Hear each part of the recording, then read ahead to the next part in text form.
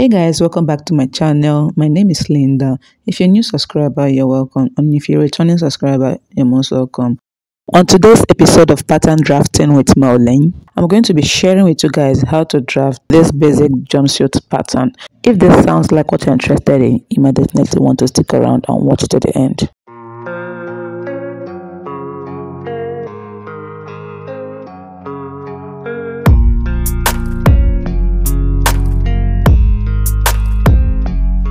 So right now on my work table, you can see that I have my measurements here. You can go ahead and pause to read. I'll briefly explain that. This is my neckline, this is my shoulder line. We'll have the bust point, we'll have the on the bust, we'll have the bust span, we'll have the bust circumference, waist line, waist circumference. We'll have the hip, we'll have the hip circumference, and we have the crotch depth or the crotch line. So we also have the thigh line, we'll have the knee line, and we have the ankle. I'm just going to impute these measurements into my pattern. First of all, I'll be drafting the basic bodice. If you want more details on how to draft a basic bodice, I have a video right there in my channel. I'll also go ahead and put the link on the screen. Let's carry on. So you can see that I have drawn a straight line at the top of my pattern paper that will serve as my shoulder line and I also went ahead to mark the width and the depth of my neckline which is 4 inches by 4 inches that is after marking the shoulder line. So now i'm just going to connect this with my curved ruler to form a neckline curve.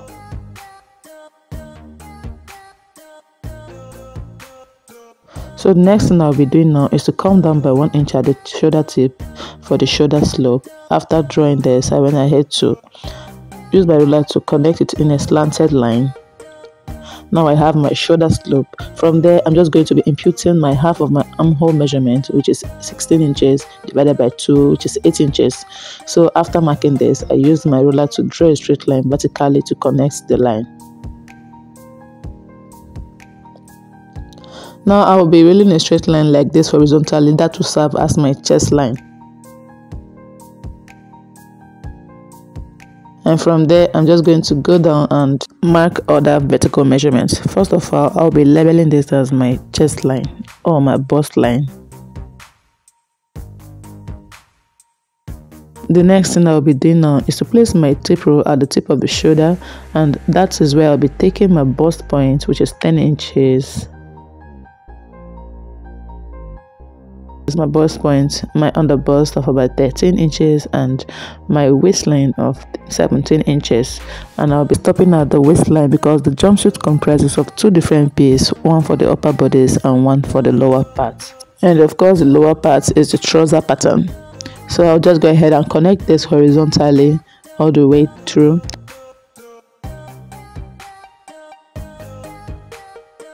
So I'll be labeling this as my bust point and here's my underbust and here's my waistline or my half length so the next thing I'll be doing is to impute the half of my bust part measurement or you can call it the nipple to nipple measurement on all the lines I have drawn except for the chest line.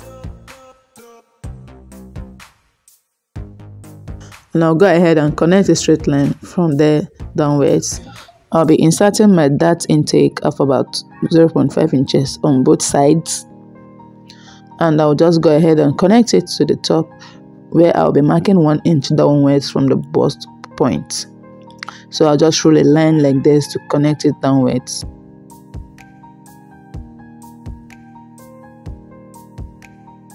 Now the next thing I'll do now is to get the half of my armhole measurement and I'll be marking that like so. So from there I'll go outwards, inwards by half of an inch and I will be using my straight ruler to draw a straight line as usual and from there I'll be connecting with my curved ruler towards this part.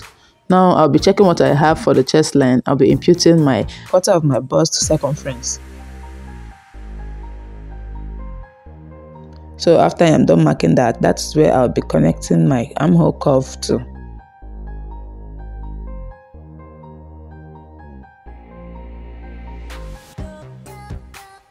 Now this is what I have for my armhole curve. So the next thing I'll do now is just to go ahead and duplicate the bust circumference measurement at the bust point. And from there I'll be taking the quarter of my round measurement for under my bust which is also the under bust circumference. And I'll be adding the darts intake which I have there. And also I'll be repeating the same thing for the waistline. And I also go ahead and replace the darts which I have taken out. And I'll go ahead and connect the lines. Now, if you are drafting this directly on your fabric, you should add 0.5 inches below at the waistline like I'm doing and also at the shoulder line for the shoulder joining. The one below the waistline is for joining the waistline to the trouser pattern. Now I'm quickly going to draft the back bodice with zipper on the same pattern paper. This is really easy. Just take your time and pay attention and get this right. I added 1.5 inches for the stitching allowance and also connected that into a straight line. and that's my stitching allowance. So this is going to be my center front around this area. I also added 1.5 inches for the zipper allowance. So I'll go ahead and just extend the lines upwards to draft out the neckline so for my neckline I'll go down by 1 inch at this part you can choose to mark any desired neckline of your choice but mine is going to be 1 inch so from there after drawing the line so I also used my straight ruler to complete the line. Heading towards the armhole curve, I will be drafting the back armhole. So I'll be connecting it from this point like you see me doing. I'll just draw a slightly curved line. Okay, this is what we have. Now I'm just going to blend it into the stitching allowance. So this is going to be the back and the front is going to be this part. Just assume that the front piece is placed above the back piece and that's all. Next is to cut it out, excluding a half inch I added below the waistline because I am drafting on a paper and I'm going to be cutting it out on my fabric later on. So I'll just go ahead and cut it out.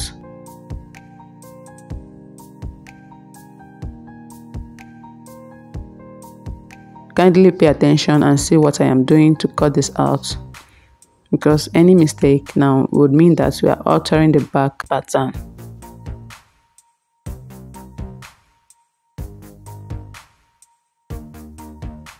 I also trained 0.5 inches at this part because I want to eliminate the zipper bulge.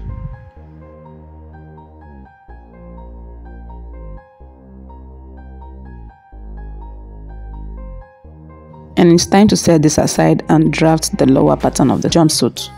So I had to glue my papers together for the meantime. And I'll just go ahead and mark 2 inches at this part. And I'll be measuring that all the way down.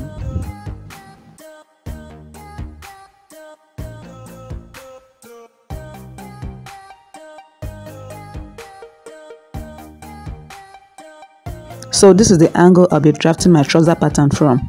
The next thing I'll be doing now is to get the hip line measurement from my waistline. So after that, I'll be marking my crotch line or the crotch depth. So I'm just going to use a ruler to connect these two first of all.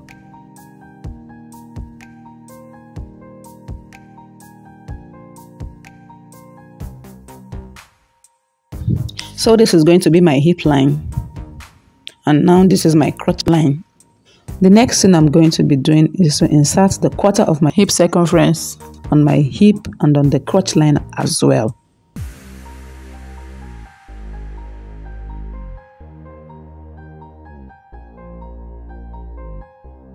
And I'll just go ahead and connect the lines in a vertical way upwards. Now we have our crotch coming together For the crotch curve, I'll be using my thigh measurement on the same crotch line. So I'll just go ahead and divide the roundness of my thigh circumference by 2 and I'll insert it at the crotch line. That is for the crotch curve. And that became the addition of 3 inches to the quarter of my hip circumference. Now at this angle, I'll be going upwards by 1 inch for the crotch curve. So I'll just go ahead and curve it with my free hand or you can still use your French curve to do that. And now we have our crotch curve. Next, I went down by 4 inches for my thigh line. So my thigh line is 4 inches downwards from my crotch line. So I also connected that into a horizontal line. And after that, I'll just go ahead and divide my thigh circumference once more by 2 and I'll be placing that around the thigh line and also mark it down. So from there, I'll just go ahead and connect a straight line, but I prefer to go inwards by half of an inch to give it a slight curve.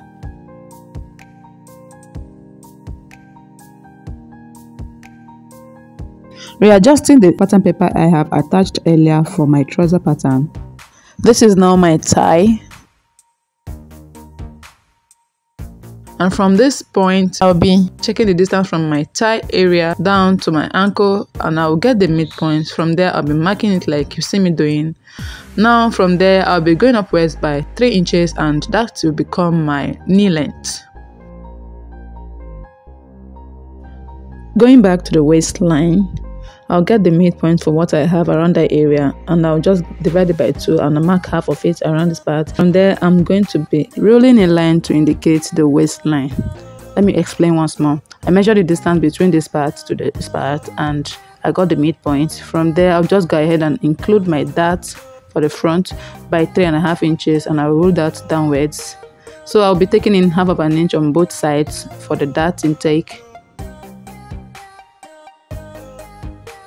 and that will become the front dart.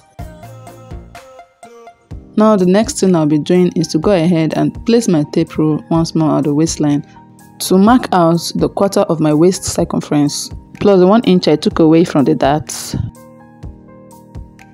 And I'll be connecting this part downwards to the hip line.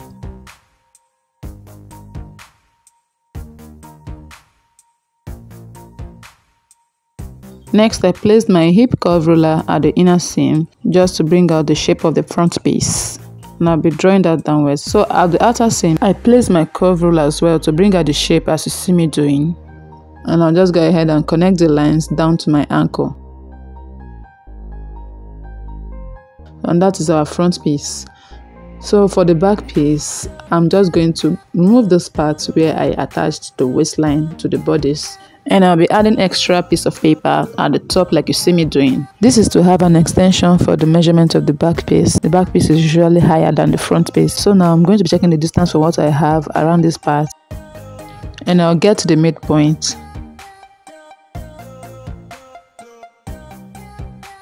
I'm just going to be marking what I have around that part and from there I'll be going upwards by 2 inches.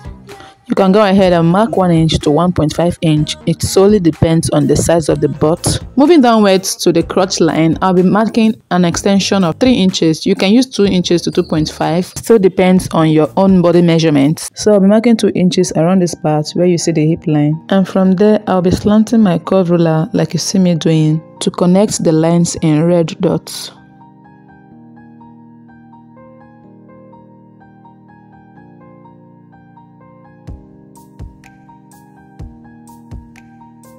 Now that I'm done with the back crotch, I went ahead to measure what I have for the front waistline and I'll be erasing this line. So now I'll be measuring what I have for my front waistline and I'll go ahead and duplicate that for the back and I'll mark it out. So from there I'm just going to use my ruler to draw a slanted line.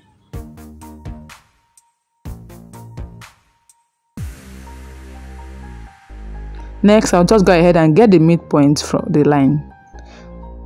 I folded my tape roll to get the midpoint like so.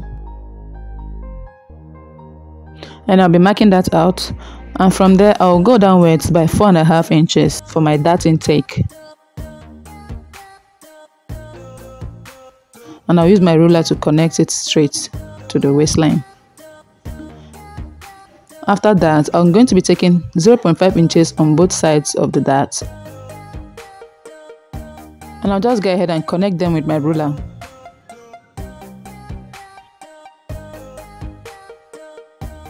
Now that is the back dart, I'm sure you can see a difference between the front and the darts at the back. Next, I'm just going to smoothen out this part into the hip line with my curve ruler.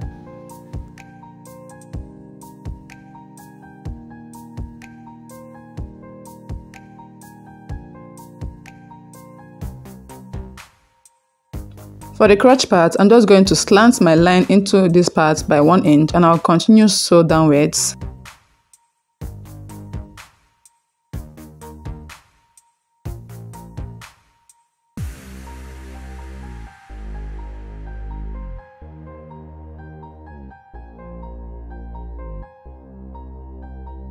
For me to take my measurement downwards to the ankle length, I'm going to be attaching another paper here to complete the back piece. Now this is the initial line I was supposed to draw when I was drafting the front piece. So I'll just go ahead and draw it out and this is going to become my front piece. And the other one is going to be my back piece. Going back to the back piece, I'll be adding 1 inch like I said earlier and I'll be maintaining that 1 inch downwards all the way to the ankle length. And I'll just go ahead and connect it with my curved ruler.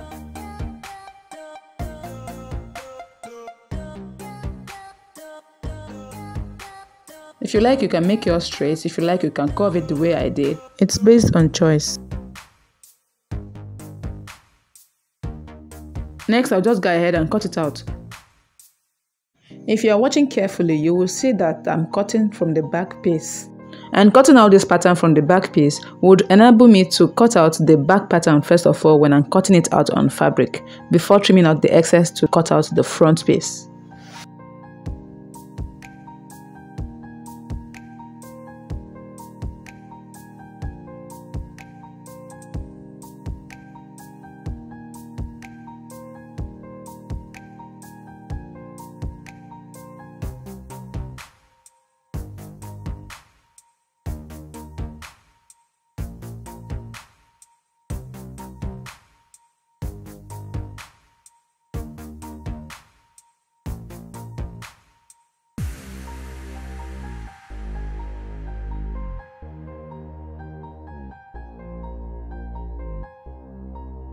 Now that I'm done cutting it out, you can see that both the front and the back piece are in one pattern paper. So I'll just go ahead and mark the front in black marker while the back is in red marker. So this is to indicate it for you guys to understand. And now we are done with our pattern. When cutting it out on your fabric go ahead and fold in this part of the front so that you can be able to cut out the back piece first of all. And after which you are done cutting with the back you go ahead and trim out the back piece and cut out the front and that is basically all for the lower piece. So now we have our upper bodice which was the first thing i drafted. I'll just go ahead and arrange it like you see me doing when you're cutting it do well to add half of an inch at the lower pattern and another half of an inch for the upper bodice at the waistline so that you can be able to join them together when stitching it and now our pattern just made a lot of sense and for that of the trouser pattern, when it was time for cutting it out on fabric, I went ahead to add 1 inch sewing allowance all the way around for the back pattern and for the front pattern as well. For the back crotch, I added about 2 inches extra around there 1 inch for zipper allowance and 1 inch for sewing allowance. Don't worry i'm going to do a better explanation in our next video. Here's a sneak peek of the jumpsuit. This is how beautiful and clean it looks like. Guys if you like this video kindly hit the subscribe button and turn on your notification bell for more interesting videos like this. See you guys in my next video. Bye